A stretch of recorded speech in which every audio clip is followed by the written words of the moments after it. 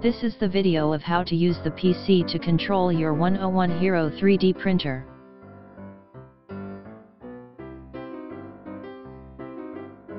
Let's open Slicer, Cura first.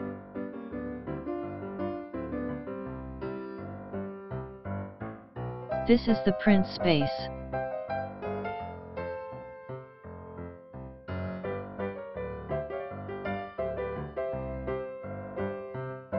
Here is the setting.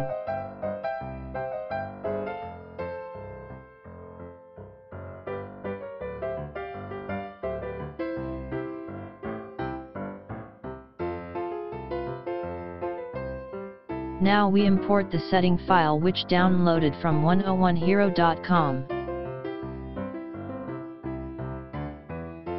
Then import a STL file.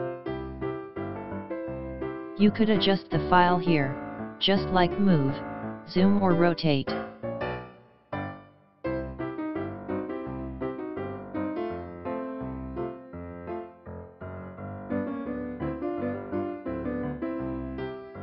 Now generate the G-code file.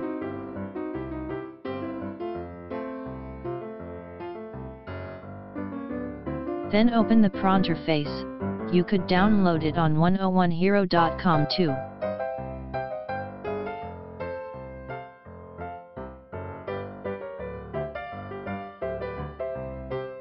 Chose the port, and the rate is 115,200.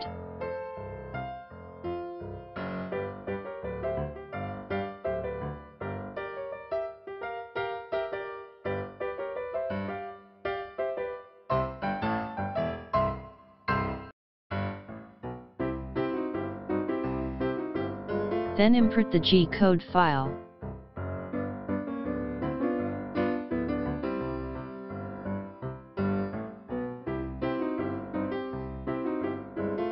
You could control the printer here too. Click the print button.